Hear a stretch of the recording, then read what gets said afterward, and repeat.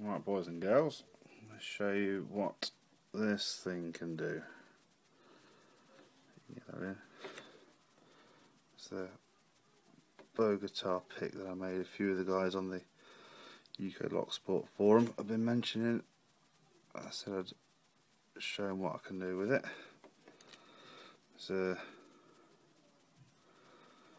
five pin cylinder there's no name on it, so but we'll have a look. Right.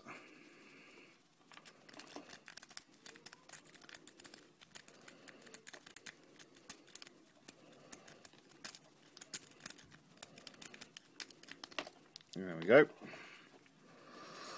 won't take too long. Cheers guys.